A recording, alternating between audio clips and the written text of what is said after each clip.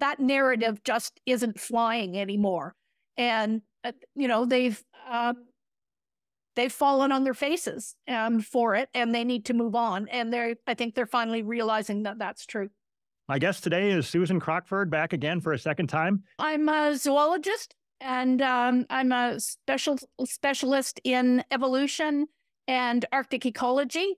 Um, and I've been um, writing on a blog called Polar Bear Science since 2012. So, what is new? Uh, anything new in the whole polar bear uh, controversy, whatever, since we talked last or in the last year or so? One of the big ones that's been most recent is the surveys um, on Western Hudson Bay and Southern Hudson Bay uh, polar bears to try and get a, a sense of numbers.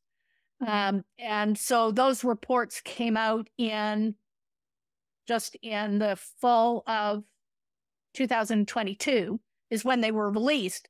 I didn't get a hold of them until this year.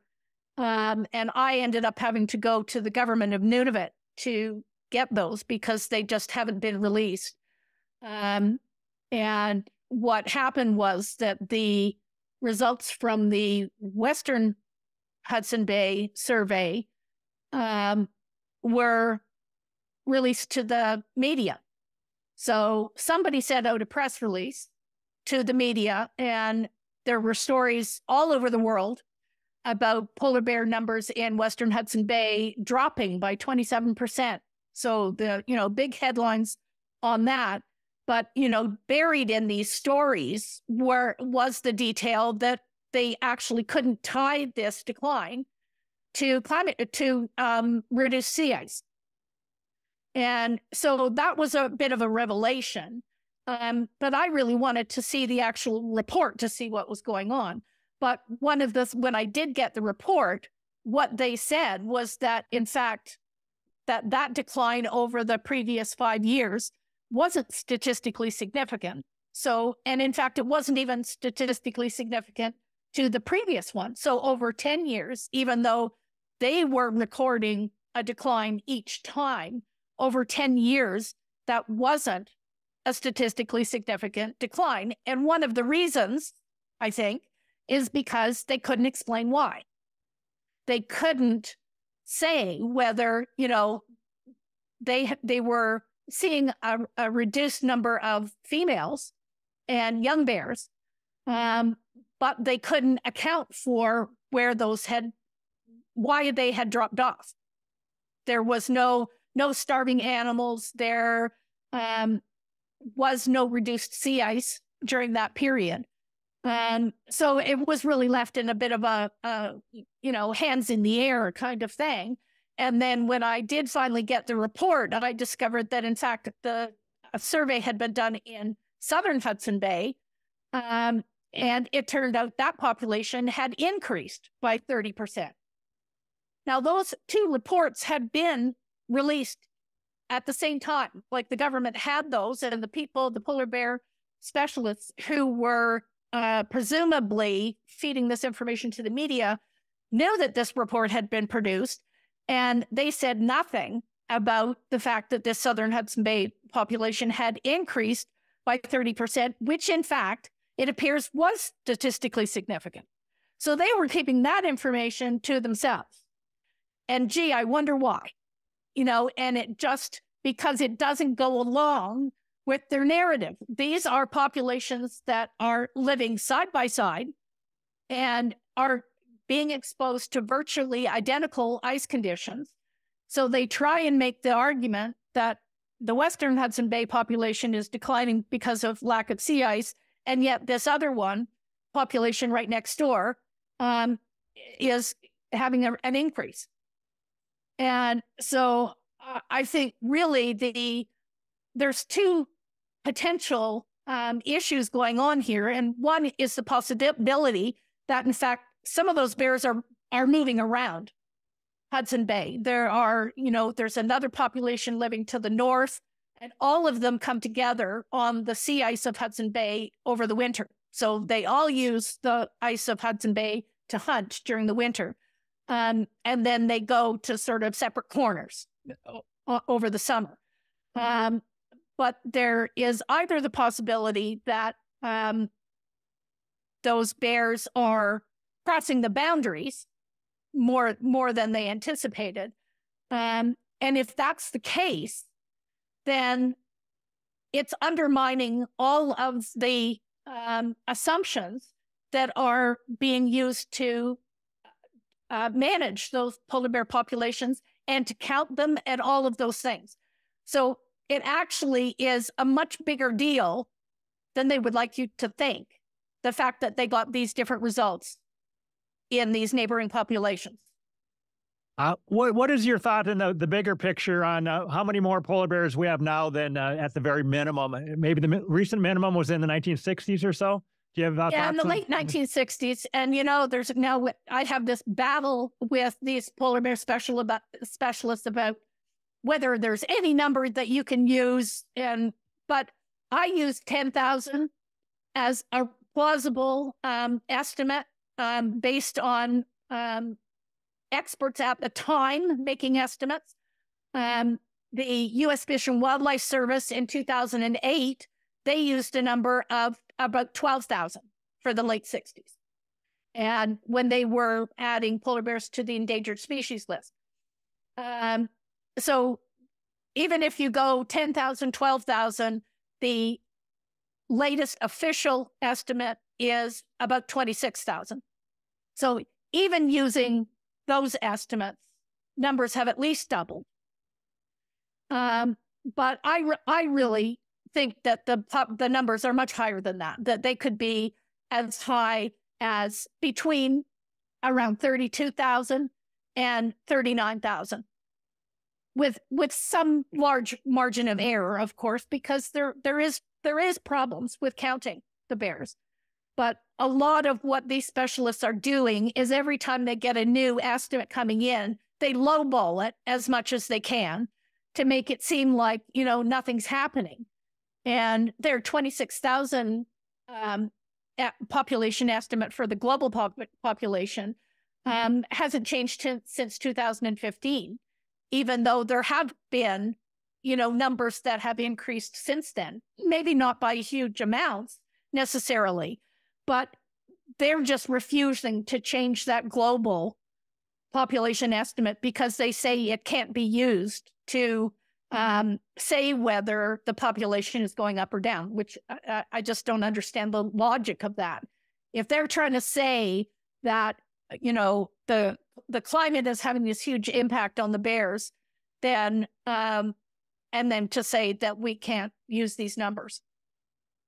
But is there any way that they can fudge the numbers at both ends enough to make it look like there's less uh, polar bears now than there were in the 60s? They, they can't. That can't be done, or can it?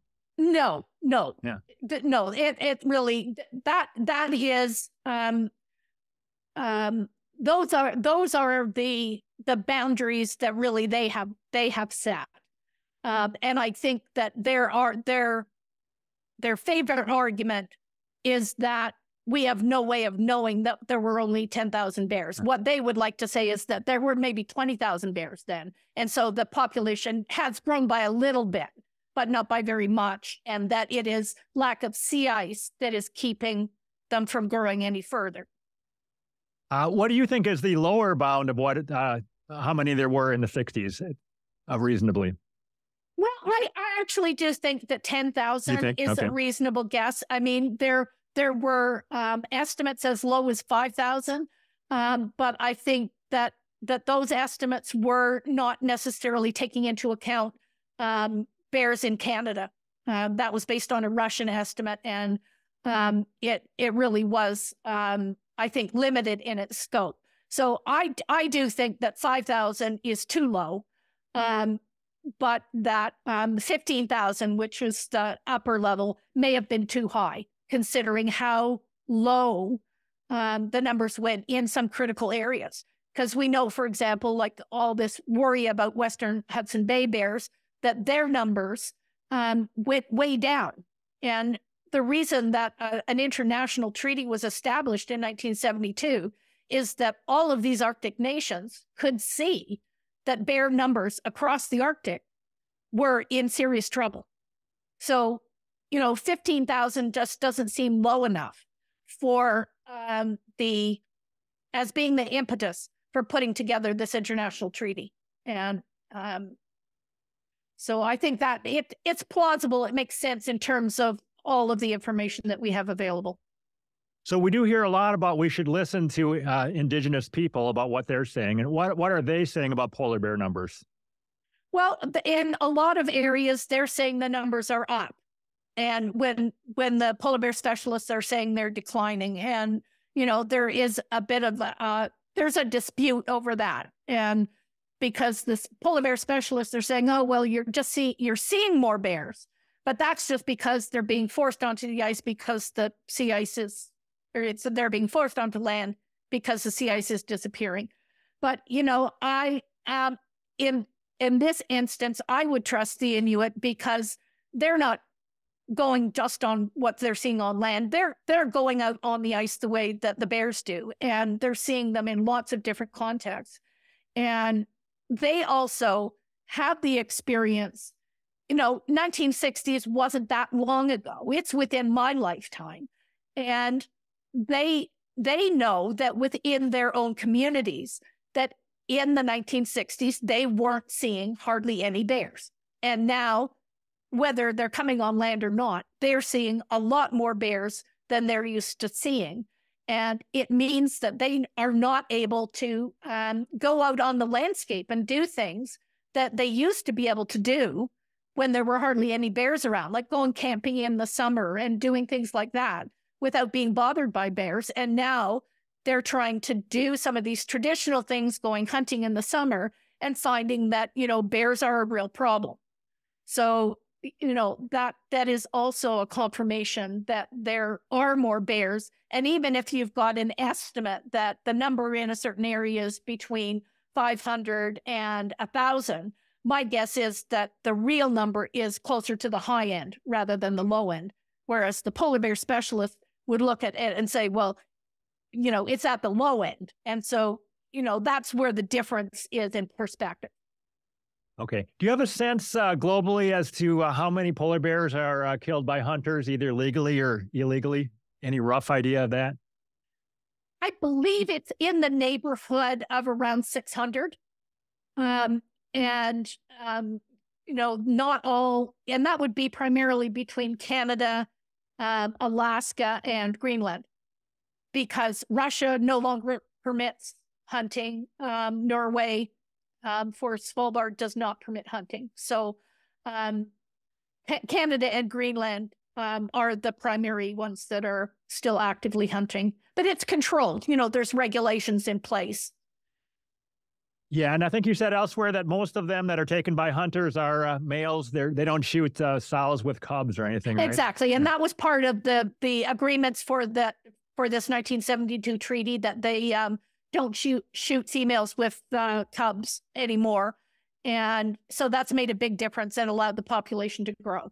And you know, it's just it's logical. You stop killing animals by the tens of thousands, and their numbers are going to increase. And certainly that's a pattern you have seen in every um, species that has been overhunted. As soon as you stop doing that, their numbers go up. And we see that in polar bears as well. All right. As you uh, as you go about your daily work, uh, do you think that uh, there's less interest in using the polar bear as an icon for the climate scam now than there was at the peak around the 2000 whatever seven or eight?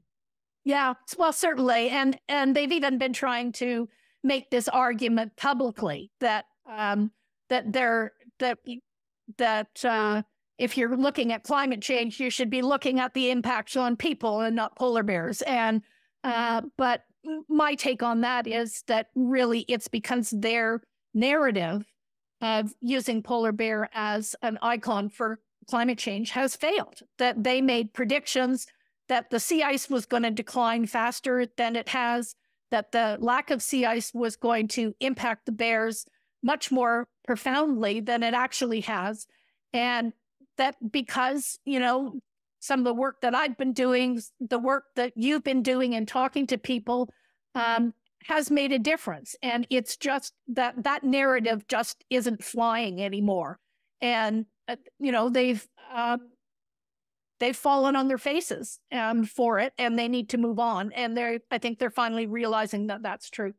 So are you seeing that within the polar bear research community that there's more realism now and they're not all in on uh, blaming CO2 for everything? Oh, no, I don't no? think so. I think within within that community, there's still um, a, a real strong commitment to using um, using it because if they can, as long as they can keep uh, the bear on the endangered species list, it means more research money for them, and that's pure and simple. And it's, uh, uh, I think it was the um, motivation for them trying to get the bears kept on um, on the list in the in the first place, um, because it's built it's built into the act in the U.S.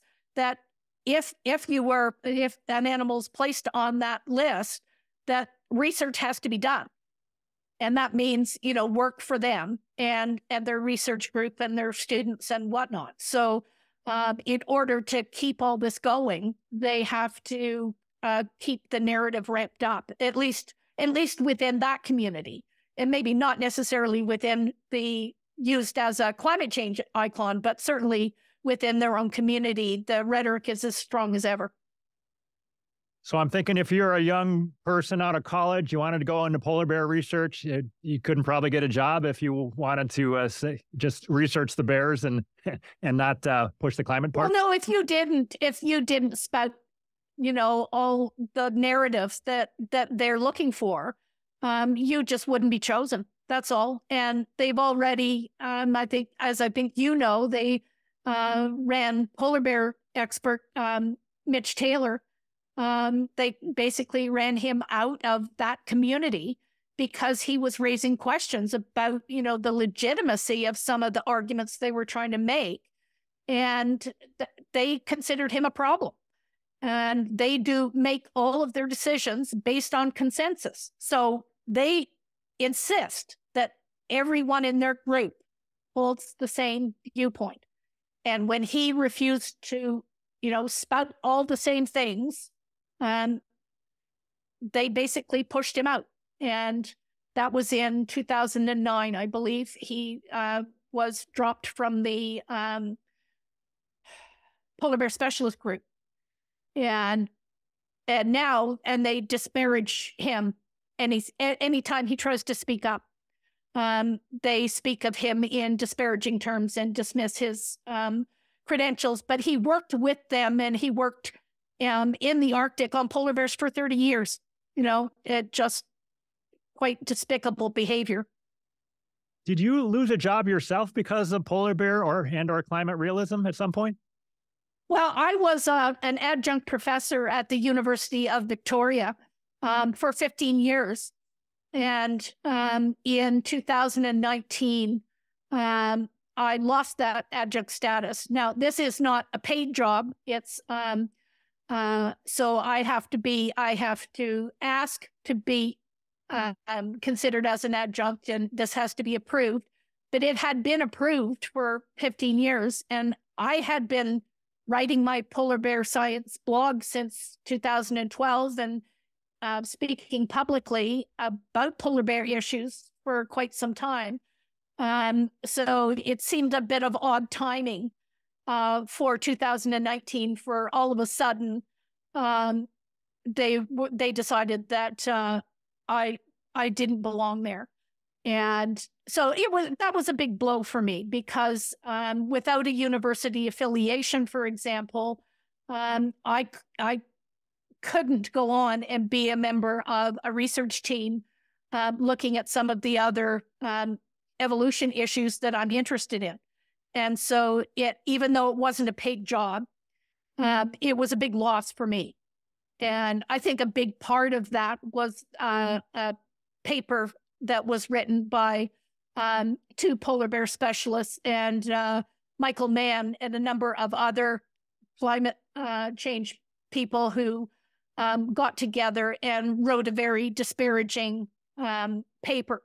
And th- I think that was used as ammunition by people within the university system to make sure that I was no longer affiliated.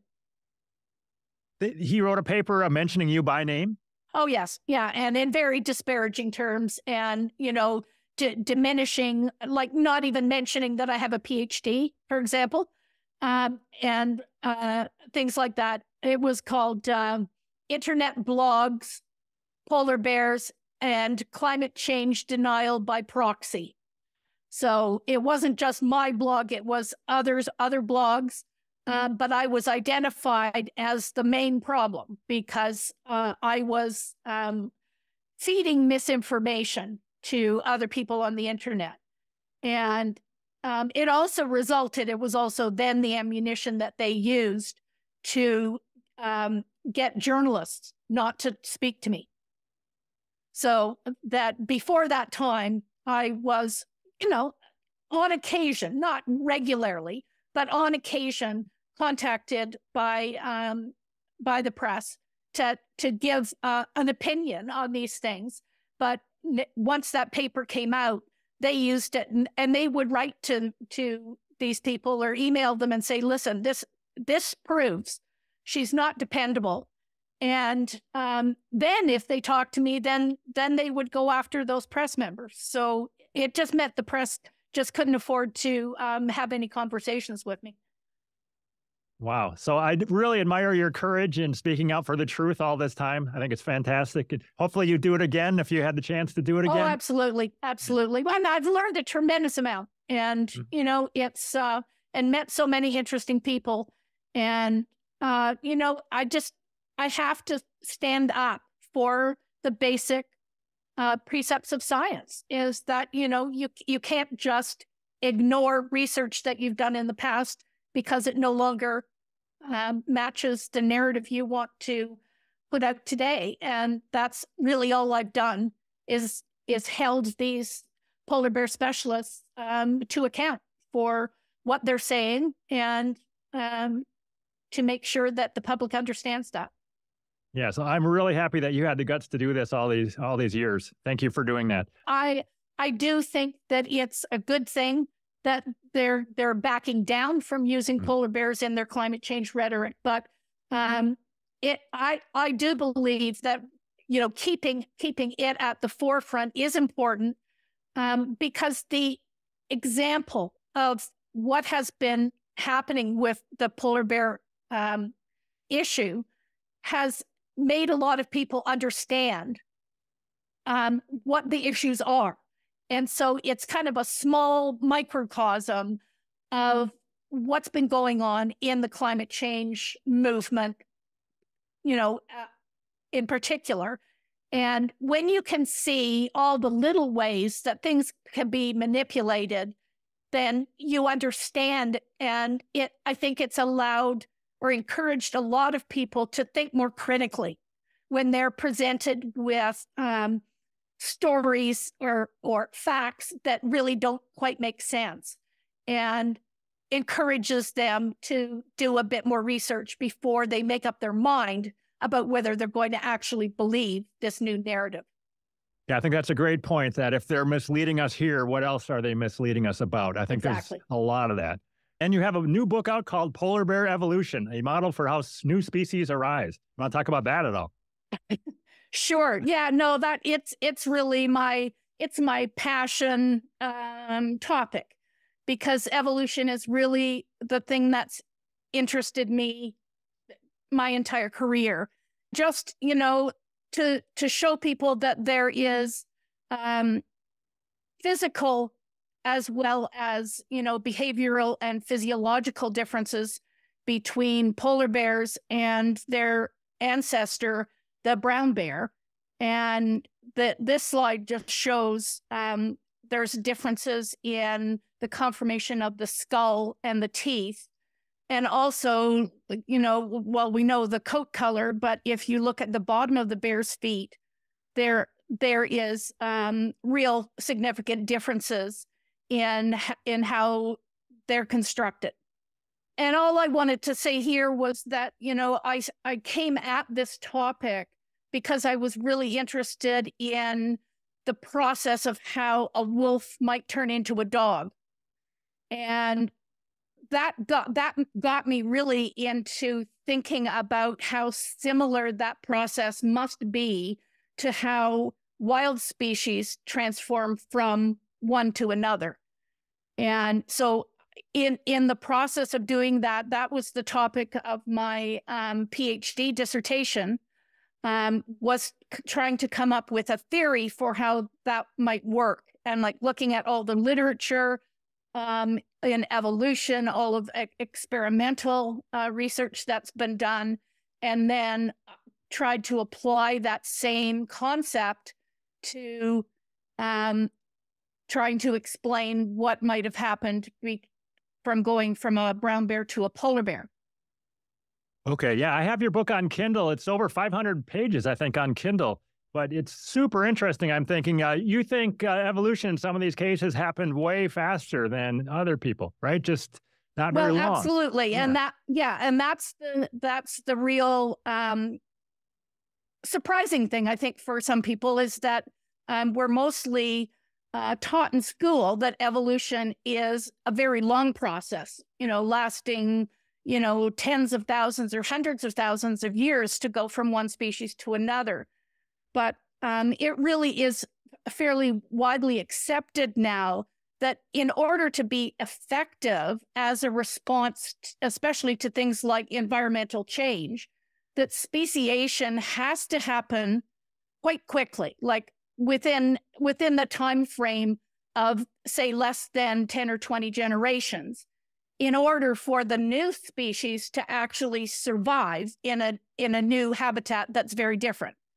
And so um, that's really what i was working with is trying to explain how you would get that kind of um, rapid change going on because it doesn't seem like gen- genetic mutations can really account for all those things. You have too many um, physical and behavioral and physiological features changing at the same time.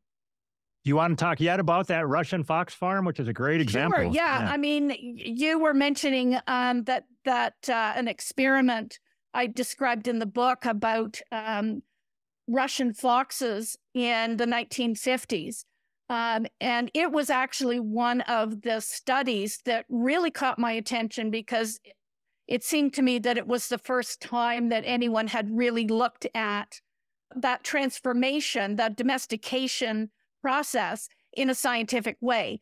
And what the Russians did, they in the 1950s, um, foxes, uh, silver foxes from Canada and the US were being farmed in a lot of places across the world, but very much so in Russia for their furs. But um, the the foxes held in cages until they were, you know, old enough and big enough to harvest their furs, um, were not happy with, with being caged, and that they they were actually going um, having um, just freaking out all the time, and it was a very unpleasant place for the foxes and for the people that worked there. That even if their cages were approached, they they would start screaming and yelling and and just freaking out. And so, um, a Russian geneticist, um, looking and thinking about actually the process of domestication, wondered if you could make these animals a bit more um, amenable to human contact, if it would make things easier for everyone. And so he started an exper- um, a selection experiment where he went through uh, the population. I believe it was around 10,000 animals. And they just tested them with um, uh, by inserting a hand, a gloved hand, into the cage to see how the animals reacted. And most of them did their usual freak out thing, either cowering in the back of the cage or attacking the, the hand. But um, a few of them actually were curious and would come up and like sniff the hand or or at least not panic about it. And so what he did then was use the animals that he called um, fearless um, and use them as the start of a breeding population. And so every year he breeded the animals of those uh, those ones together and then did the same selection process for any pups that were born and went through this generation after generation. And for foxes, that would be like one litter per year. So um, he was able to see some changes very quickly. And interestingly enough, one of the first changes that they saw within only a few generations um, was this white spotting, they called it. And, and so they were getting animals that were um, marked instead of being black all over with a white tip on the tail, they were marked like a border collie with, you know, the, the black and white muzzle and, you know, white feet and a bit white on their chest. And as time went on, the animals became, they saw more and more changes. They saw changes in behavior so that the animals became um, much more amenable to being around people and they also saw changes in the timing of their reproduction. So instead of being ready to mate in March, they were ready to mate in January. So, in and in fact, the um, the fellows, people who were um, running this experiment, uh, he was really perplexed about what was going on. He didn't understand it. He was a geneticist and was coming at it from uh, the perspective of genetic mutations causing these things. And he really didn't understand how you could have so many changes happening at once and seemingly in concert with each other over such a short period of time. And, uh, but the thing is that he, it wasn't really what he was after. They, you know, they, they, he was after getting animals um, that were you know, black all over for these fox farms and having animals that were black and white like a border collie was not not their intention. And so even though his experiment um, didn't didn't produce really what he had in mind, he understood that it was an important result and and wrote it up and it appeared in the journal of uh, heredity in 1979 so when I came across that, I started thinking, okay, there's something else going on here. And what, and started looking at what was it potentially that could link all of those features that were changing in his foxes. Okay, so it wasn't just their behavior changed. I have uh, they were unafraid of people. They would crawl in your lap, but they they got to like curly tails. Their uh, fur changed. Yeah, the color. curly tails and their ears started the flopping down instead of being perked upright, and um, even the skull sizes changed. Yeah, so they changed kind of mostly into a dog in uh, not that long, right? It didn't take them ten thousand yeah, years. and and yeah. very much dog-like behavior. Um, in in an animal that we actually wouldn't expect to be seeing that kind of transformation. And you definitely don't see that in the wild, that kind of transformation. So um, it, it really did catch my attention as being kind of a critically important experiment.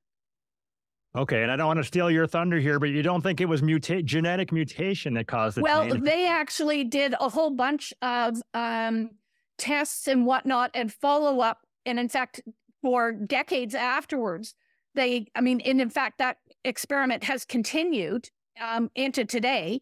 And they have been doing um, work trying to identify genetic mutations and really are, are not finding very much. And so it it's they're not finding any big, you know, sort of smoking gun in terms of a genetic mutation that would explain all of these things happening together. Mm. So what do you think it was? That's just showing you how many things I came up with when I looked at all of the things that were changing in the foxes and the things that change between wild and between wild species when they change found out that the common denominator is thyroid hormone. And so, critically, thyroid hormone um, affects embryonic development and gene regulation in the sense that what it can do is that a change in the way the thyroid hormone is produced can actually change how a gene functions rather than the gene having to change itself. So it's another way of changing um, the output of a gene without having the gene mutate, if that makes sense. And so, but then we've also got it affecting um, metabolism, like general metabolism. It's what um, keeps you um, regulated to hot and cold. Like when you're cold, you, your thyroid uh, production has to ramp up to keep you warm. It controls reproductive timing, um, fetal and postnatal growth. So all growth hormones are controlled by this. Um, the stress response um, through adrenal hormones, and that's where um, this fear, fear, fearlessness of uh, Belyaev's comes in. So that's the stress response, and also when we're looking at the um, the actual physical appearance of these animals, um, the hair hair production and growth, and also skin and hair pigment is also controlled in part or, or totally by thyroid um, production at the core. So it's it's kind of a conductor, if you will, like it's the it's the central control mechanism, and there are um, hormonal um, connections between that and and these other things that it affects. But it when you look for the common denominator, that's where it lands is with the thyroid gland. My um, hypothesis for how this works um, as quickly as I can. And the idea is just that what we know about all of the hormones for animals and for humans is that they're pr- produced in a pulsatile manner. And that is that, you know, they're, the hormone is released in bursts of various lengths and intensities and that that changes over the course of the day and it also changes according to the season and according to age. So as we age these rhythms change and as like young children and young animals are growing those those rhythms change. But what i've got on this screen is is not actually thyroid hormone but it's um, another related hormone and it's these are just um, a daily sort of a graph of the rhythms of three individuals each of two very different um, types of rats that they use for experiments. And the the only point I'm using here is that the the animals on the left hand um, column of the screen they all have this low point in the middle of the day in this hormone production, and the all of the three individual animals on the right don't have that same rhythm. So, and the idea is that um, that these graphs, in my theory, represent what um, individuals within different uh, within a species. That the overall pattern will be relatively similar, but that individuals will have slightly different patterns. And so the concept is, and say to explain how uh, Belyaev got uh, the results he did with the foxes, is that if you choose a trait like um, fearlessness and select it, that those animals will have a particular pattern of this hormone production. And if you select them, then then you actually take take it out of um, the the other options that are available for that species. And because you're selecting for a particular rhythm, you can get changes happening within a new population very quickly because the other options that are available from other um, other individuals just don't exist in a new population, like the fox selected population. They're actually removing it. And it's the interconnectedness of this um, thyroid rhythm that that rhythm that's showing up is showing up in the fearless behavior, but it's also collect, connected to things like the reproductive timing, the fetal growth, and, and the hair patterns. And so by selecting that one one feature, you actually select other features um, at the same time.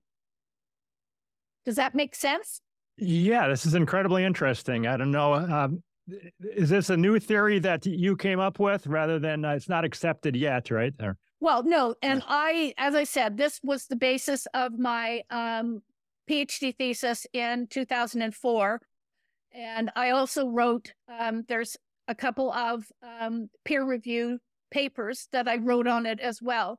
And it actually got, has gotten um, a, a, fair amount, to, to my mind, of support. And in fact, there are still people working on um, trying to see if they can find um, the the actual um, generate the experimental results that would either prove or disprove what I have presented. And the important thing about this um, theory is that it is testable. And that's really our criteria for doing science is that you have to come up with uh, a hypothesis and show how it can be tested and then it needs to be tested. So at this point it hasn't been tested but it is testable. The difficulty is that thyroid hormone is very difficult to measure in very small amounts and that's what we're looking at um, some of these other hormones, like the one that I'm showing on the graph, they're easier to measure in very small amounts. But thyroid hormone is more difficult for that. And so, uh, what I had proposed is that what we need um, is something like um, uh, an insulin pump, but reversed.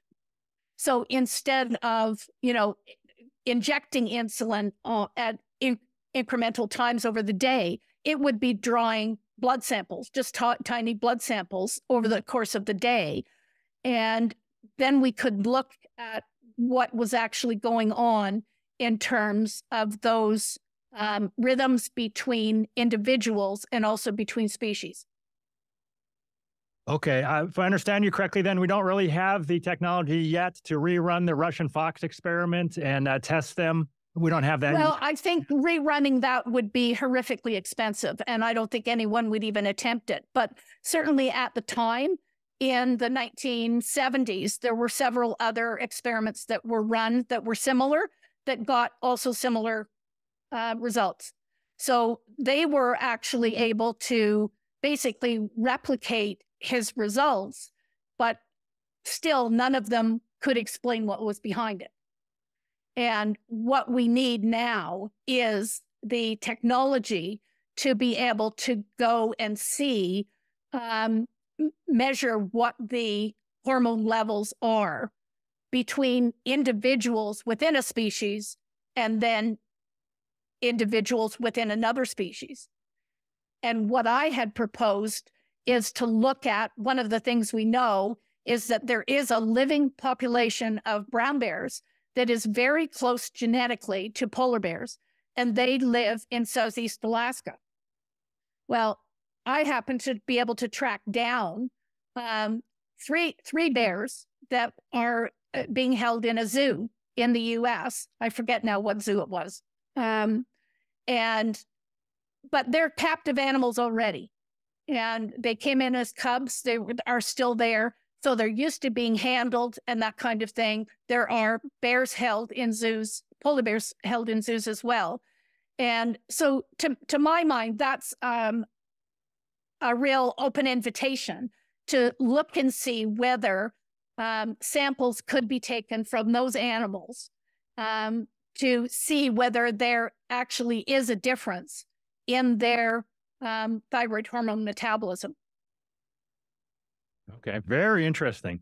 So, in a perfect world, it might be possible. I guess this would have to be in a perfect world. If you had access to enough brown bears, you could do this Russian fox experiment with them and try to turn them into polar bears. Well, I mean, I, I don't know um, if the, I think the actual experiment itself that was done doesn't need to be repeated what needs to be done is the um, investigation into the hormonal basis of that.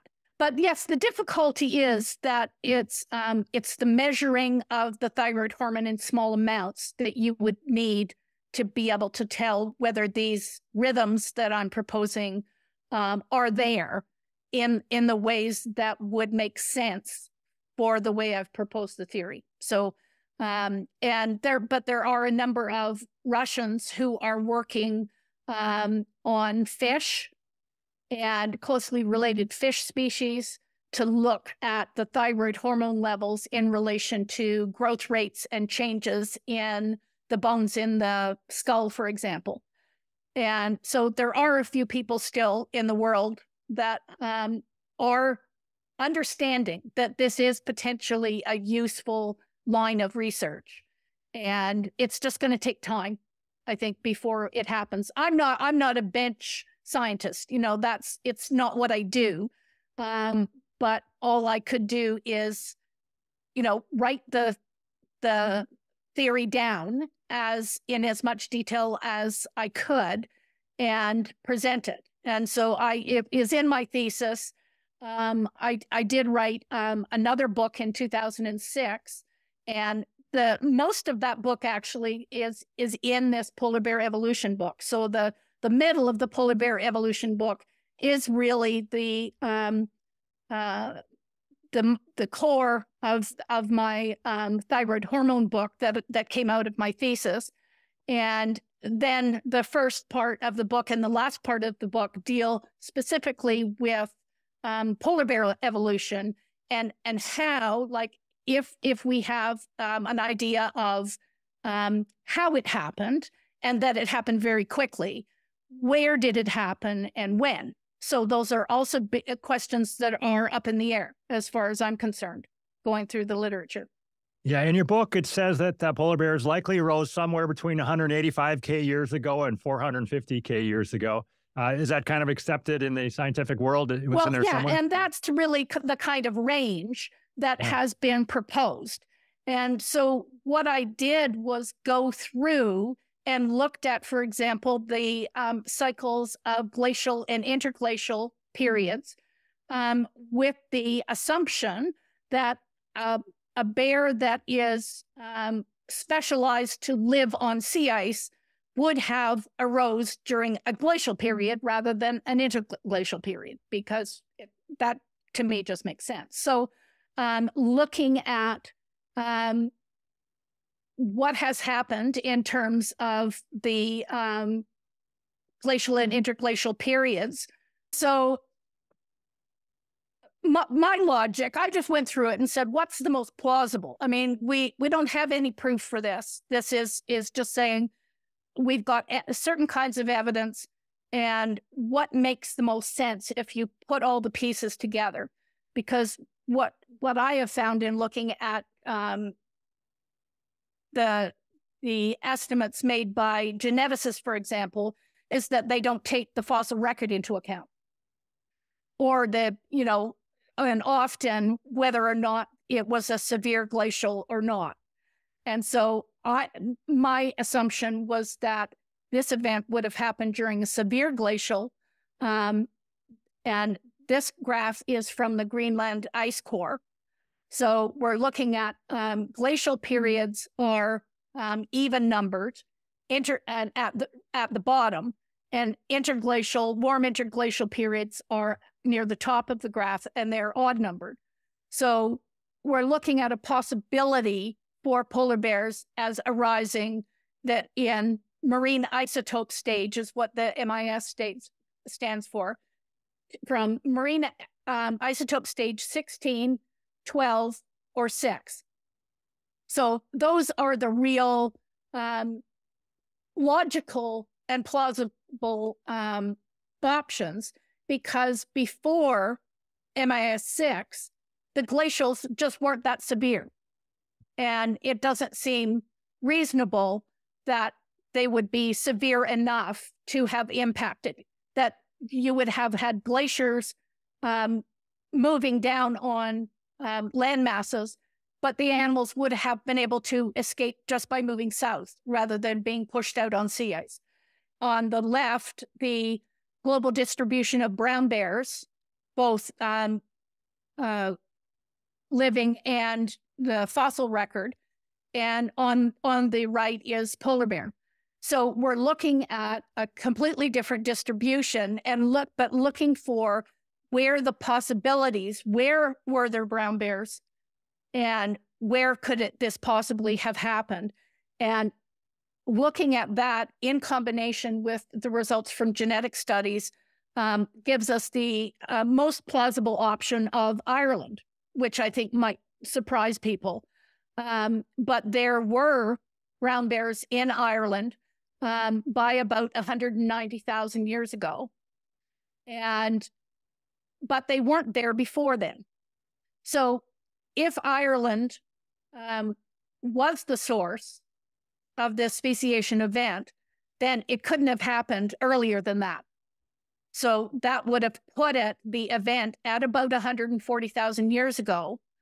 And with the idea that the glaciers from the Arctic came and overrode um, pretty much all of um, Great Britain and then pushed some of those um, brown bears out onto the sea ice, but using the idea that it worked similar to what happened with the foxes in the sense that animals that were curious and um, not afraid of new situations, that they would be the animals that would explore a new habitat that was available to them.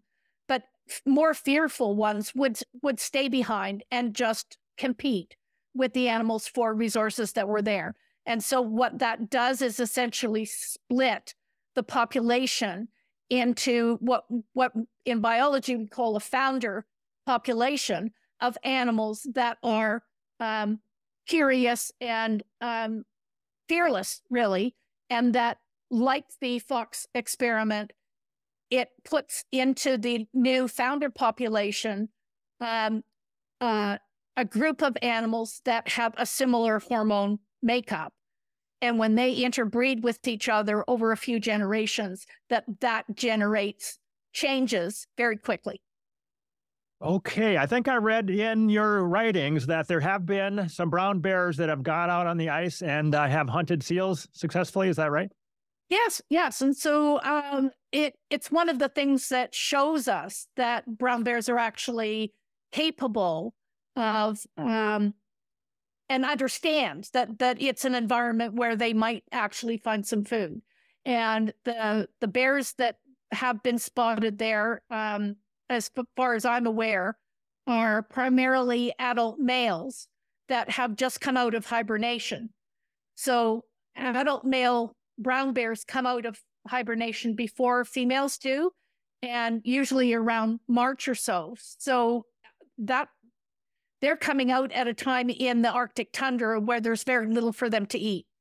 But it's also the time where there's lots of ice. The ice is at its um, most extensive in the Arctic. And so they just walk out over the sea ice up into the Arctic. In they are walking into polar bear territory.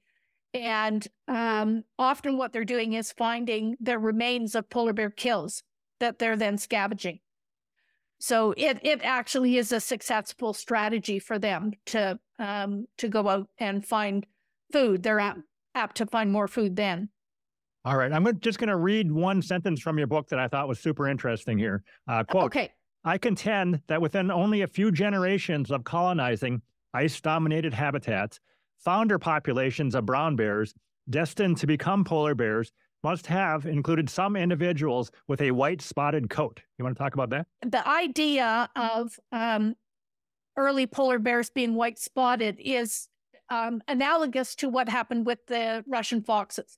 And that is the first part of that process of speciation um, can often include the um, popping up of this white spotting, which means that then take it a bit further and allowing natural selection, that what you end up with is the polar bear being essentially one big spot. So they're not albino, but they are just taken that white spotting to an extreme. But what happens, I think, is that um, if you had a, animals who were uh, um, white spotted in the early stages, but animals that had more white were better hunters, then they would be the ones that would um, survive better. And so then you can push the white spotting to uh, more more of an extreme. Okay, very good. Um, when Darwin did his Origin of Species, did he specifically say that he thought that uh, mutation was the reason, or they had any evidence for well, that? Well, no, yeah. because the whole concept of of genetics wasn't around in those days, and so we didn't have that concept until the 1940s. So he was he was really going on um, just what he could see and looking at patterns in the natural world. Um, but you know, he, he was able to describe things in um, a really uh, understandable way, in a way that made sense. And that was his big contribution. Um, but for him, he worked a lot, for example, on trying to understand um, different dog breeds. He didn't look at the transformation from a wolf to a dog, but he was using, in fact, dog breeds as kind of um, a proxy for um, species, which I thought was an interesting concept. And it's kind of uh, one of the the um, what one of the directions I went to in my theory of you saying, okay, if you look at how different different dog breeds can be, they are as different from each other in many ways as species are to each other, and just looking at the parallels between between those systems. Uh, are there still people, or is there a thing where they're uh, looking at uh, the DNA of ancient animals and modern animals and figuring that mutation must be the difference? So then they model it and decide how many years it took for that a change to take place, or no? Well, yeah, it's a lot of what's been going on with the research in uh, polar bear evolution is that it's being um, addressed with genetics, and uh, and there's a lot of um, new techniques that are coming up in genetics mm-hmm. that are being used where they can look at um, nuclear DNA and um, and larger sections of mitochondrial DNA. Um, but the problem is that those are also come with assumptions in how you interpret what kind of results that you get. And so there aren't any any people, as far as I'm aware, who are looking at um, the the thyroid um, or horm- hormonal component of um, polar bear evolution. So, as you're talking here, it reminds me of uh, Ed Calabrese was on my podcast a time or two, and he was saying that there were people that were trying to induce mutations in bugs, and they were just turning up, they were cranking it up uh, the radiation to incredible levels, and they couldn't make mutations happen. They expected them to happen, and they weren't. Do you have any thoughts on that? Well, I mean, I, it is one of the things that's um, kind of frustrating about this assumption that um, mutations are what drive evolution, um, because that's one problem. And the other problem is that how do you get, when you get an animal, say like those Russian foxes, all, all of these different systems changing at the same time. And, but one of the aspects of the thyroid hormone um, hypothesis that is interesting, I think, is that many of the same genes that they're looking at that would change during speciation are actually controlled by how much thyroid hormone that gene uh, receives. It's as a signal. It's like an on-off switch, or, or maybe more like a rheostat on a on a light switch. It can be turned up or down. And so you can actually get um, a change in the output of the gene, even without the gene changing. And I think that that's really important because it explains the um, relationship that we know must exist between an individual and the environment. And that relationship exists over the animal's lifetime. But we also know that there has to be some connection between the environment and populations if you get populations of animals changing when climate changes. if that makes sense. Yeah. So I'm way behind you here, but I want to make sure uh, in the lab, can they do this thing you're talked about where they can tweak the thyroid and that and prove that that changes the uh, what the gene outputs? They can test yes, that part absolutely, absolutely. And so yeah. they we know that that ha- happens. We also know that you can change the thyroid hormone uh, amounts and get changes in the shape and in behavior. So it, experimentally, this is all you know. It's it's founded on good experimental evidence. It's just that final step of saying is is the thyroid metabolism of a brown bear different to that of a polar bear? And no one has actually you know taken those samples to show that that's the case. Okay i want to read one more uh, line from your book. What i'm suggesting is that the species specific flow of thyroid hormone from the mother is largely what causes a chimpanzee fetus to grow into a chimpanzee rather than a human despite the fact that 99% of its genes are identical to ours. Well, and and that's that statement is um, based on the knowledge that the growth of the fetus is absolutely dependent on the thyroid hormone um, secreted by the mother.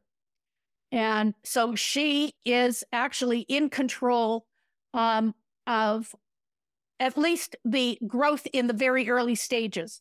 And so the um, input from the individual that fetus that's growing that is um, until its own thyroid hormone or thyroid gland develops, then it's not going to have any input um, from its own system. So it is the mother system, the thyroid hormone from the mother interacting with the genes in the embryo that are causing all the early growth including you know all setting up the all of the organ systems and the the body plan of of the embryo. And that that that maternal contribution is critically important. So again i'm way behind but maybe uh, thyroid changes could explain part of the reason why some humans grow to four feet versus seven feet? Well and in in some cases and what um it's it's one of the reasons why for example i think you get um say if you're getting hybrids and you're and it's the mule and um the horse and the donkey and the hybrid it depends on which one is the mother of what you get for the offspring, and that the offspring are quite different depending on which one is the mother. And so, because she's controlling that the growth hormone primarily, but also setting up a lot of the um, the working of the genes during the embryo development. Okay, so it's hormonal differences that explain most of the differences between those two crosses being so different from each other. Right. Yes, yeah. I would say so. Yeah, yeah. And that it's yeah, and and it, and it's just it's the the thyroid hormone is um involved in so much and so important, much more so than most people understand. I was fascinated by uh, this. I'll read this part. In essence, the animals domesticated themselves by associating with early human settlements. So there's this story that we uh, like caught wolf, wolf pups and domesticated them into dogs. But you're thinking maybe that's not the way it happened, right? Yeah, and and really, and I think that most um, anthropologists actually now agree with me that that is the case. Is that um, because many people have actually tried to um, take wolf pups and raise them, and you know, you and what you get is a tame wolf. You don't get a domestic dog, and so you need a process um, whereby that animal actually changes. And so I I am convinced that the process of dog domestication involved some wolves that, like uh, the Russian foxes, were fearless. And so they took advantage of this new habitat that people were creating when they settled down for the first time into sort of um, permanent or semi permanent settlements. and that, you know, coming in, there would have been food, probably water nearby, but the food scraps that people were um, producing from their hunting would have been a, a really large attractant to the few wolves that would have been brave enough to come in and take advantage of that. And so it was actually um, almost the opposite of being pushed out of something. They were drawn into this new habitat that humans had created. And that created a new founder population with that same, you know, small interbreeding within themselves.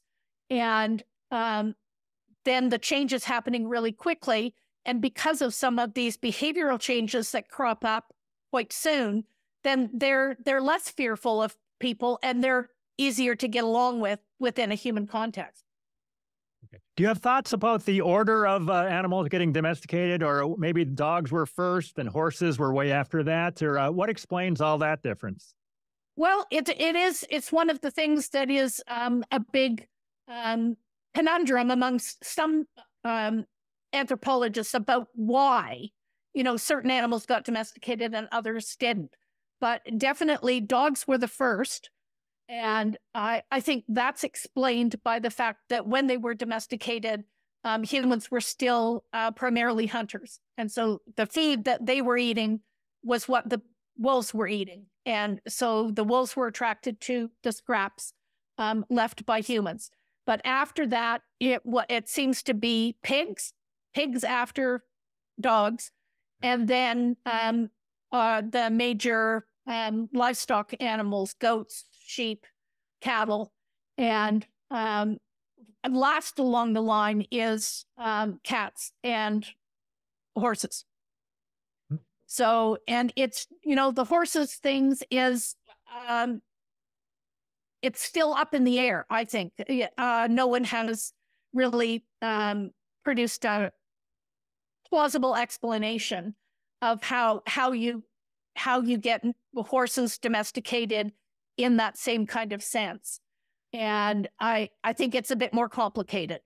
I won't get into it. It's it's it's not worth it. But they are de- horses definitely come last in the string of um of the sequence of domestication. I think you know getting the the important thing about polar bears and their evolution is that you really can't talk about it without talking about climate change. And so I really had to get into all of the issues about climate change that, you know, you and I have both been investigating for years now um, in order to, to, really try and understand what was happening um, to uh, the bears during polar bear evolution. Thanks a ton. I really appreciate your time. I hope you, we can do this again some other time. Thank it's you. It's a pleasure talking to you, Tom. Okay. All have right. a good day. Talk to you next time. Goodbye. Yep.